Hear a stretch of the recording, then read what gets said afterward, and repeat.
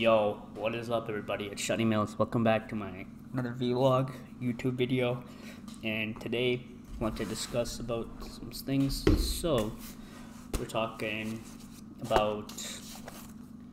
So we're gonna talk today about how I try to structure like my writing process, and anybody that is interested, how to structure the writing process.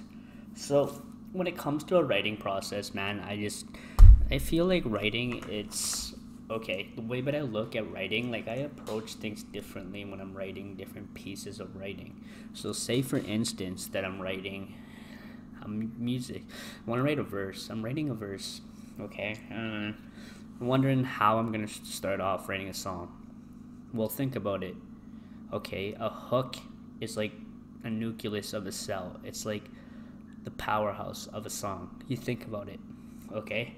And then sometimes some people like to build upon what they wrote in the hook, the verse. But some people like to do it the opposite. Sometimes how I'm feeling, like depending on my mood, how I'm feeling, I whatever particular environment that I'm in, all has an impact on where I decide and how I decide where I want to start when writing a track.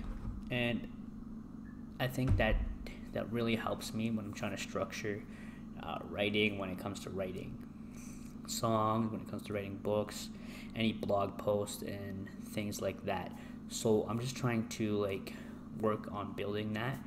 And yeah, it's great, but I get to build upon brand that I'm trying to build around that.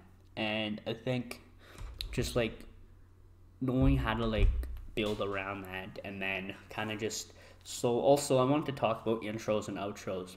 So if you're talking about intros and outros within a track, basically not you it's not required. You some people just decide that they want to say, okay, I'm just gonna let the music play out here. I'm not gonna add any words here. Same with the outro. Sometimes it'll add a little bit more effect if you do uh, decide to put words into that particular timing of it, but other times it's not. So you just have to learn to play it by ear and then try to figure out okay, am I going to put this here or can I do something better here? Maybe I can come up with something. And yeah, I think like writing process for me now has changed quite a bit. But anyways, thank you everybody for listening to my YouTube. Uh, peace.